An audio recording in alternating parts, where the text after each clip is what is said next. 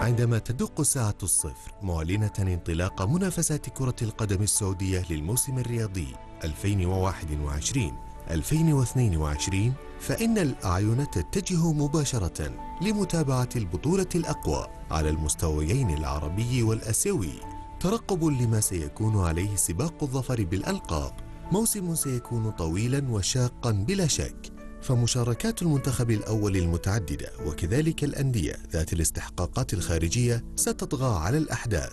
فالأخضر سيخوض معركة التأهل النهائية للوصول السادس لمونديال كأس العالم بإذن الله. وأثناء تلك التصفيات سيشارك الصقور في بطولة كأس العرب العاشرة في قطر. وما بين تلك المهمتين للمنتخب السعودي منافسة محلية أخرى ومشاركات خارجية لبعض الفرق.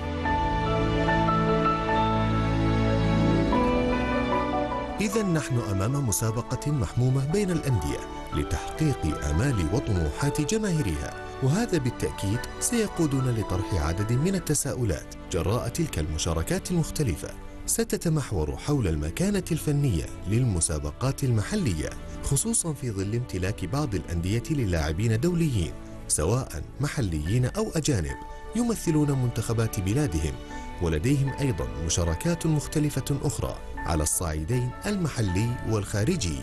نحن أمام موسم استثنائي سيكون فيه ضغط كبير على الأندية وإرهاق للاعبين وستستمر المباريات فيه حتى المشاركة في مونديال كأس العالم الصيف المقبل في قطر. فما هو التصور المتوقع؟ لما سيكون عليه المشهد العام للبطولات المحلية. وهل سنشاهد ارتفاعا في المستوى أم تذبذبا وانخفاضا في الأداء؟